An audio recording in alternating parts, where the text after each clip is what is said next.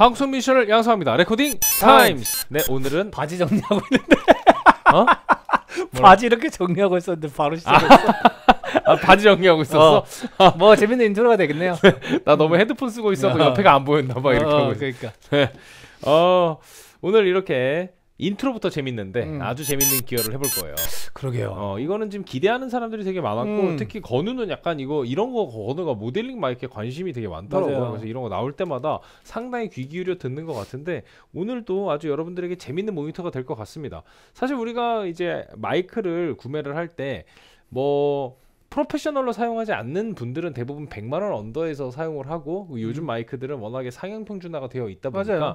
50만 원에서 100만 원 사이에도 뭐 데모 아웃풋을 내는데 충분한 마이크들이 워낙에 많이 나오잖아요. 음. 근데 그럼에도 불구하고 이제 프로페셔널 마이크로 좀 안정감 있게 쓸 수 있는 영역은 아직도 그래도 100만 원 위라고 그죠, 그죠. 생각을 하게 되고 그리고 100만 원 한 200만 원 정도가 되면은 이제 뭐 정말 뭐 스튜디오 홈 스튜디오급에서는 손색이 없는 마이크 음. 그리고 이제 스튜디오급으로 넘어가게 되면 200만 원 이상 정도가 그죠. 되죠. 그래서 최종으로 도달하게 되는 게 대부분은 이제 뭐 U87 정도라고 봤을 때 지금 한 450에서 500 정도 사이. 음, 음. 그 정도에서 이제 마이크를 가격이 여러분들이 어느 정도 그렇게 인지를 하고 계실 텐데 음. 그럼 이제 150만 원이라는 가격이 있을 때 음. 뭐 여러 가지 옵션들이 있겠지만 최근에 이제 뭐 150만 원 정도로 사용을 할 수 있는 거는 이제 C414 같은 경우는 가격이 많이 떨어졌기 때문에 음. 100만 원대 초반에도 이제 구입을 하실 수가 있죠. 그건 되게 반가운 소식이에요. 음, 그래서 그렇죠. 여- 여러분들이 그 아무래도 AKG가 음. 그 저기 삼성에서 인수했잖아요. 음. 그, 그 하, 하, 하만이죠. 네. 하만 인수하면서 그 딸려와서 음. 우리가 반가운 거는 AKG는 훨씬 더 좀 저렴하게 구매를 할 수 있게 됐다는. 게 참 좋은 음. 일이고 노이만에서도 이제 그 꽤 괜찮은 마이크들이 한 200만 원대부터 이제 시작이 된단 말이에요. 음. 굳이 U87로 바로 가지 않더라도 그 음. 밑에 좀 사이즈 작은 마이크들이 200만 원 정도 있으니까 그럼 이제 그 중간에서 나는 뭐 AKG 혹은 뭐 노이만 혹은 또 뭐 웜오디오 좋아하시는 분들도 있고 웜오디오 이제 음. 그거보다 조금 메인 가격이 조금 더 낮죠. 여러 가지 이제 마이크 옵션들이 있겠습니다만 그랬을 때 내가 마이크에 대한 경험이 좀 많지 않고 음. 그리고 좀 다양한 느낌을 여기서 낼 수 있으면 좋지 않을까 이런 고민을 하시는 분들한테는 그 가격대에서 생각을 해볼 만한 하이엔드 모델링 마이크인 거예요. 음. 그래서 이게 만약에 딱 들어봤을 때 기본 physical 자체가 내가 생각하는 100만 원대 마이크에 충분히 부합을 한다면 나의 취향에만 맞는다면 얘는 정말로 가성비가 엄청난 물건이 될 수도 있는 음. 거죠. 그래서 이런 마이크를 이제 살 때 가장 불안한 부분이 야 이거 괜히 가격만 비싸고 돈값 못하는 거 아니야? 아 그렇죠. 어, 이런 걱정이 되게 저 뭐 그냥 그냥 모델 여러 개라고 돈만 많이 받고 사실 그 바꾸는 거 뭐 큰 의미 없고 이런 거 아니야? 이런 걱정이 제일 많이 음. 들게 마련인데 그래서 오늘은 저희가 그거를 그냥 하나씩 그냥 다 들어보는 시간을 가질 거예요. 음. 그래서 그 기본적으로 우리가 이제 214를 워낙 많이 쓰니까 214 사운드도 한번 늘 항상 비교를 해봐야 되겠죠. 그래서 214도 한번 아까 저희가 미리 해보니까 그 finger에서보다는 strum에서 훨씬 더 이제 좀 드라마틱한 차이가 느껴지기 때문에 strum에서 214와 기본 마이크 이 어, 스피어 LX를 녹음을 해놓고 거기 있는 모델들 쫙 바꿔가면서 이제 듣는 음. 시간을 갖도록 할게요. 보컬이나 나머지 드럼이나 이런 것들은 워낙에 이제 사이트상에 잘 돼 있기 때문에 여러분들이 직접 가서 모니터 해보시면 좋을 것 같고 오늘 현장에서는 저희가 어, 가장 여러분들이 좀 그래도 렉탐을 많이 보신 분들이라면은 음. 가장 비교하기 좋은 게 acoustic strum이라는 음, 생각이 맞아요. 들어서 그걸로 저희가 어, 진행을 해보도록 하겠습니다. 자, LX 모델링 마이크 이렇게 UAD 사이트에 들어가서 보시면은 UA 스피어 LX 모델링 마이크로폰 이렇게 설명이 쭉 나와 있습니다. 이건 버즈비에 지금 설명이 올라와 있기 때문에 여기서는 그냥 사이트만 한번 훅 훑어보고 내려갈게요. 음. 네, 이렇게 각종 어, 이 또 어플리케이션의 디자인도 여기서 확인을 하실 수가 있고요. 뭐 상당하네요, 뭐가 이렇게. 네네. 기능도 많고 음, 어쩌면은 지금 아닌 분도 있고 뭐 제 주위에는 대부분인데 지금 UAD가 이 업계에서 차지하는 비중이 엄청나졌죠. 뭐 음. 국내뿐만 아니라 해외도 이제는 사실 되게 기본 음. 뭔가 스튜디오 표준이 되어가고 있는 듯한 뭐 너무나 많이 쓰고 있고 여기 나오는 이 플러그인들을 너무 많이 사람들이 쓰기 때문에 어떠한 부분에서는 이 모델로 인해서 또 이제 이 작업을 하는 효율에서 UAD 생태가 가 완벽하게 형, 형성되신 음. 분들이 많을 텐데 음. 그분들한테 또 반가운 기회일 수도 있을 것 같아요. 그렇죠. 활용도가 일단 높겠죠. 네. 자, 여기 보면 오늘 하는 LX가 있고 DLX가 있는데 가격은 150만 원, 235만 원한이 정도 됩니다. 지금 dual output 동일하고요. 그리고 마이크 모델 자체가 DLX가 훨씬 많아요. 음. 여긴 20개, 여긴 38개의 모델을 가지고 음. 있고요. shock mount는 LX에는 기본으로 제공이 안 되지만 DLX에서는 전용 shock mount가 같이 제공이 음. 되고요. 케이블도 이제 조금 다릅니다. 제공되는 케이블이 음. self noise DB가 10dB, 7dB로 다르고요.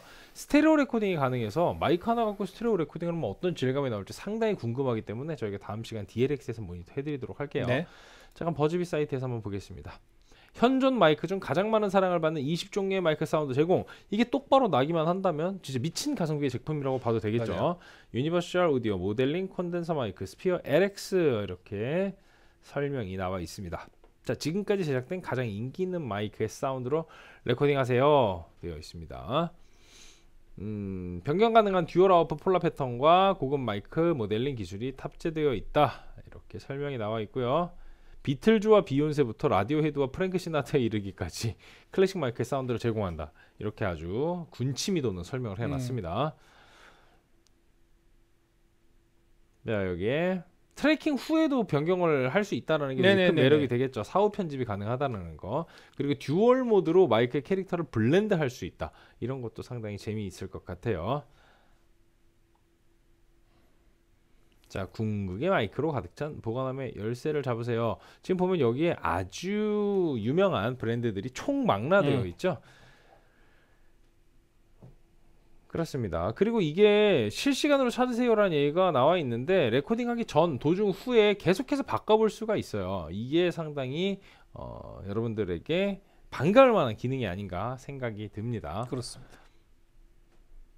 클래식 마이크 pairing을 위한 dual mode 이렇게 두 개의 마이크 조합을 선택해서 blend 할 수 있다는 게 아주 재밌는 아이디어인 것 같습니다. 네, 룸 사운드 제거 효과를 또 제공을 해주고 있고요. 네, 라이브 뭐 레코딩이 필요한 모든 것이 포함되어 있다라고 하지만 사실은 뭐 shock mount나 이런 것들은 제공이 안 되기 때문에 음. 어, 레코딩이 필요한 모든 것은 얘 말고 다음 시간에 DLX에 제공이 된다는 거 확인하시고요. 그 다음에 이제 스펙 보면은 전환 가능한 dual output 이렇게 되어 있어요. 20에서 2만 그리고 self noise가 10dB, 신호대 잡음은 84dBA 그리고 최대 sound pressure level이 145 상당히 높은 편이죠. dynamic range 135 아주 높습니다. 무게는 545g 요 정도 그 사이즈 크기 차이가 있고요. 아까 말씀드렸던 요 비교 항목을 보실 수가 있습니다. 자, 그럼 뭐가 있는지가 진짜 중요하겠죠? 네. 네, LD47K 네, 모델링에 사용된 U47 그렇습니다. 정말 legend of legend죠. 그래서 여기에서 표현하고 있는 게 어떤 마이크인지 이 모델명을 여기다 직접 사용하지 않을까 여러분들이 어, 확인을 해보셔야 될 것 같습니다.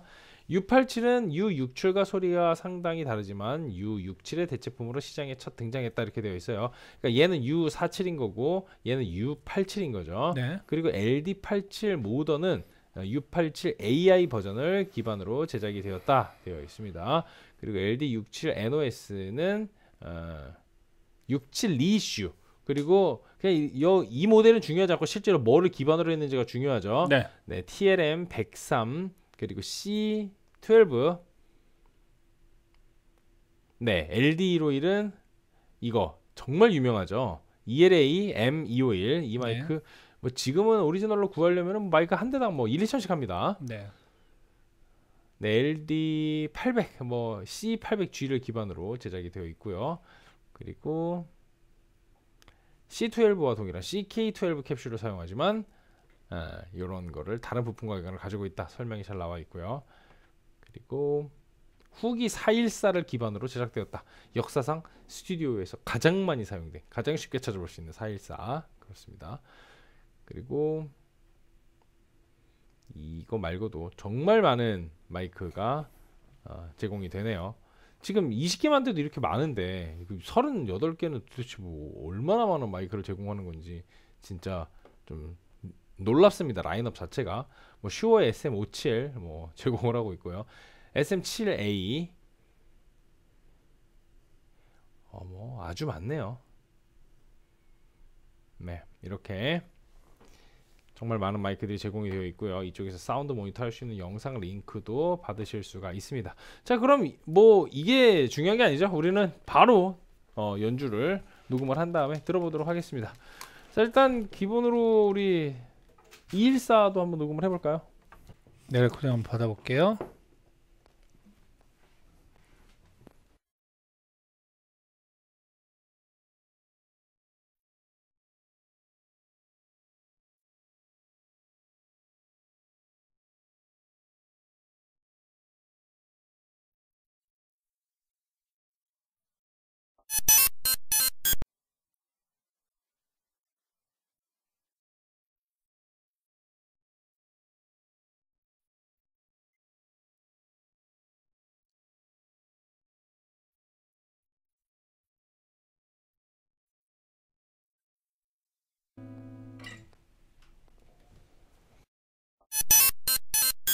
네, 일단 기본적으로 214 사운드 한번 들어볼게요. 네.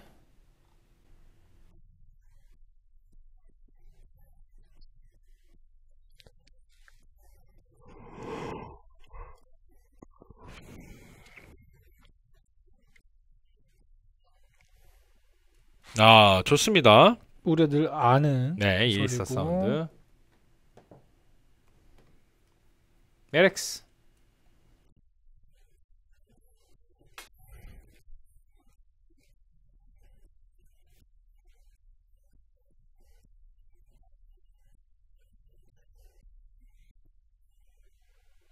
음, 음, 좋아요. 따뜻한 느낌도 네, 좀 있는데 푸근한 웜 오디오 같은 느낌 좀 있고요. 네, 근데 이제 하이가 또 없진 않죠, 그죠? 그렇습니다. 그러면은 플러그인을 켜서 음. 이제 소리가 어떻게 바뀌는지 한번 들어보도록 하겠습니다. 일단은 플러그인을 켰고요.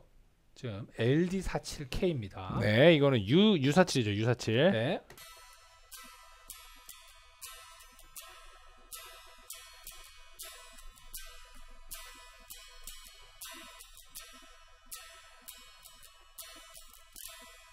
네, 바로 넘어가 볼게요. U87로 가 볼게요.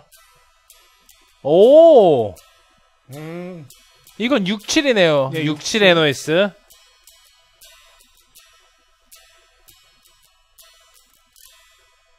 오, 신기하다. 오, 오, 빈티지. 밑으로 확 떨어지네. 네.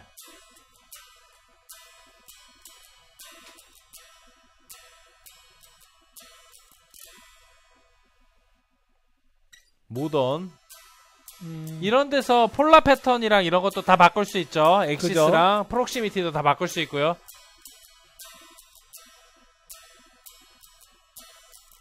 음. 어 신기하다.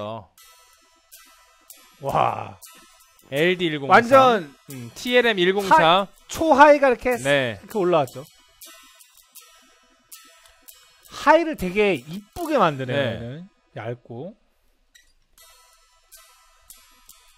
C12. 아, 소리 고급스럽네요. 음. 음. 아, 신기하다, 근데 이런 게. 아, 251이죠, 251. 정말 유명한 모델. 오, 좋아요.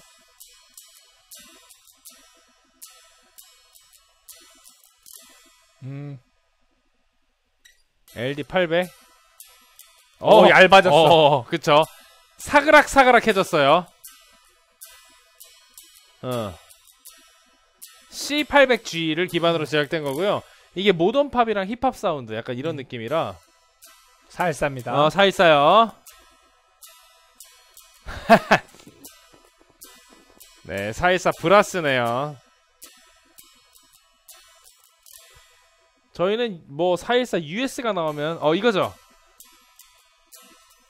근데 기본적인 414보다는 그 밝은 느낌은 좀 덜하긴 하네요. 음. 네. 그리고 약간 이게 더 뭐라 해야 될까? 앞으로 좀 나오는 음. 소리가 있어야 되는데 451 음, 상이 좁아졌네요. 네, 스몰 다이어프램이죠.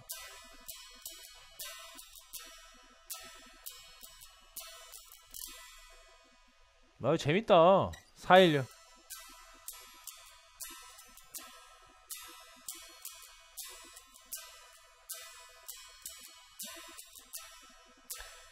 high에서 mid high 쪽이 많이 날라갔죠. 지금 저음이 강조되고 음. 있고.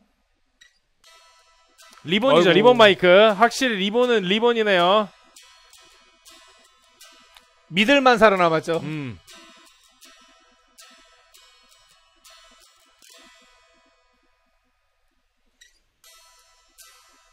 오칠 음. SM 57 low가 다 없어졌죠. 음.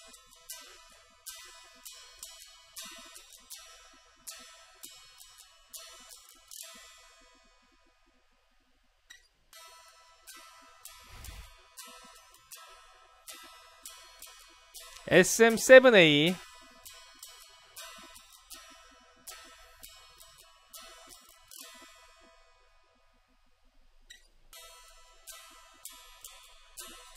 DN20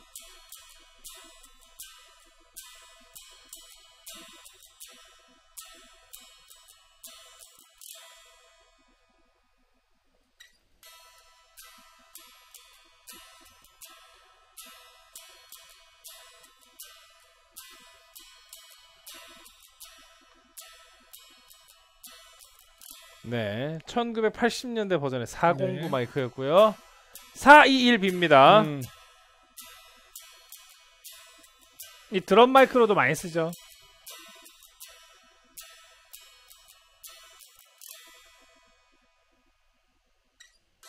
네, 12A 와 이거 진짜 방정맞게 알다. 이건 킥드럼 마이크로 많이 사용이 되는 마이크라고 합니다.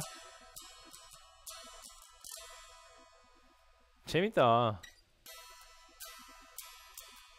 Sphere linear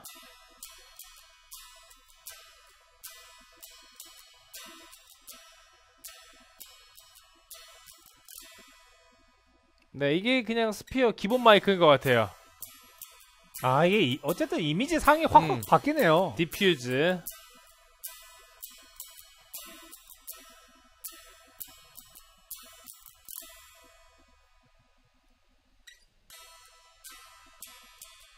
direct Sphere 기본 모델에서 여러 가지를 제공을 하네요. 음.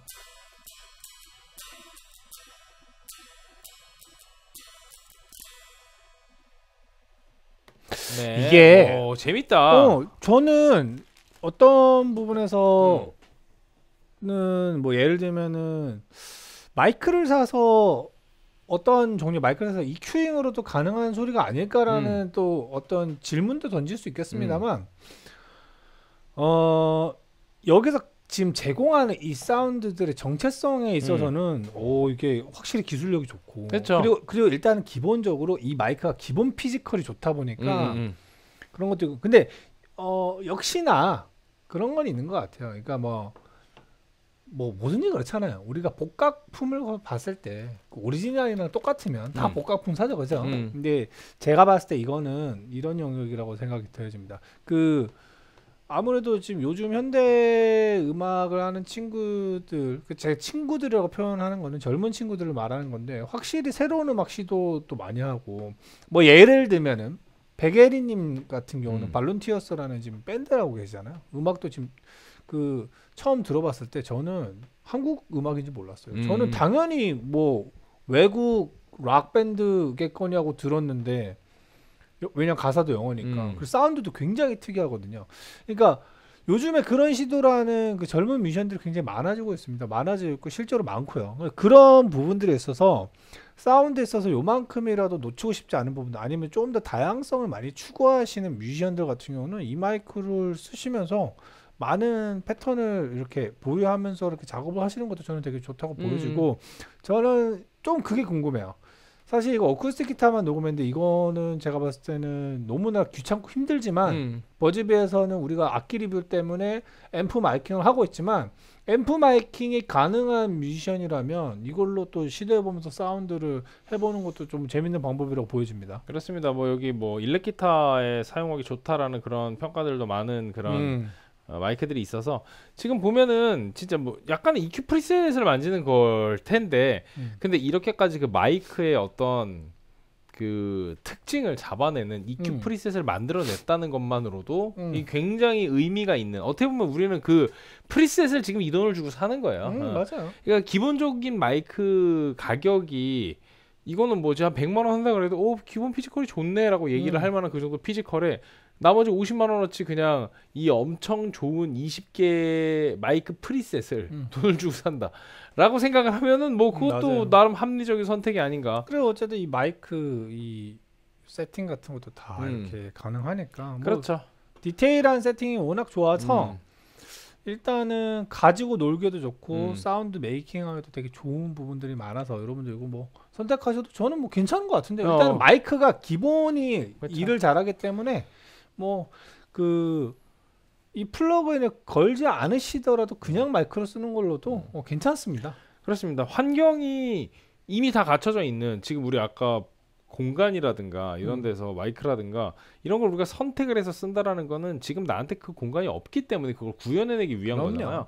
그래서 일반적인 어떤 스튜디오나 이미 그런 공간과 장비가 갖춰져 있는 곳에서 굳이 이걸 쓸 필요는 없지만 그렇죠. 홈 레코딩의 영역에서 이걸 쓰면은 나에게 없는 장비와 공간을 이 마이크를 통해서 구현해낼 수 있는데 그 구현해낼 수 있는 어떤 quality가 생각보다 아주 높은 영역에서 음. quality control이 되어 있다. 이 정도 선에서 생각을 하면 될 것 같아요. 네. 그리고 뭐 아까 중간에 저희가 뭐 부가적인 기능들 뭐 패턴이라든가 뭐 필터 뭐 axis 이런 것들을 조, 조정 안 하고 그냥 바로바로 들려드렸는데 왜냐면 어, 그러게도 그럴 시간이 없어 들을 게 어. 너무 많아서 그래서 저희가 기본 마이크 physical만 들려드려도 시간이 없을 것 같아서 그 나머지 부분들은 저희가 또 나중에 기회가 되면 다시 준비하거나 아니면 여기 제공하고 있는 영상들에서 네, 사실 그거 많이 확인하실 수가. 있어서 저희는 여기서 맨날 하는 여러분들에게 익숙해져 있는 strum 사운드와 214와 비교를 하는 음. 거를 목표로 하고 다음 시간에는 더 타이트하게 진행해서 38개 다 들어볼게요. 네 좋습니다. 그러면 다음 시간에 저희가 이번에는 DLX 음. 어, 모델로 돌아와서